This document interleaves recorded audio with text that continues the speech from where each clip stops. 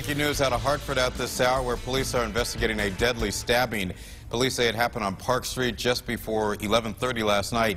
It is the city's 15th homicide of this year.